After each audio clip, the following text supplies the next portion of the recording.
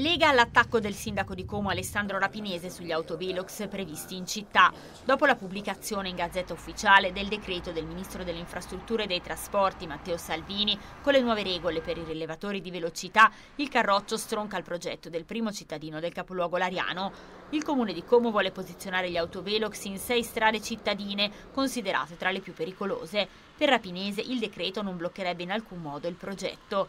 Il sindaco di Como non sa di cosa parla o mente sapendo di mentire, attacca il parlamentare della Lega Eugenio Zoffili. Il decreto sugli autovelox, fortemente voluto dal ministro Salvini e atteso da anni, prevede proprio che queste apparecchiature non siano utilizzate per fare cassa.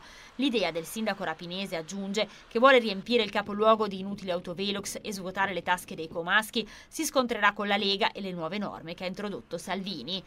Contro il progetto di Rapinese anche la Lega cittadina.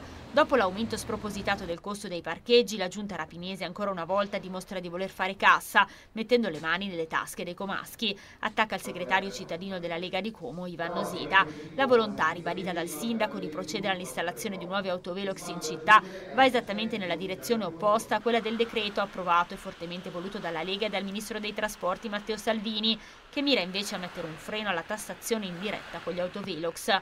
Forse Rapinese, aggiunge la capogruppo della Lega in Consiglio Comunale Elena Negretti, non ha compreso che le nuove norme introdotte dal decreto servono a fare in modo che gli autovelox vengano realmente utilizzati per aumentare la sicurezza stradale, secondo criteri di buon senso, mettendo un freno all'abuso di questi strumenti come improprio mezzo di tassazione.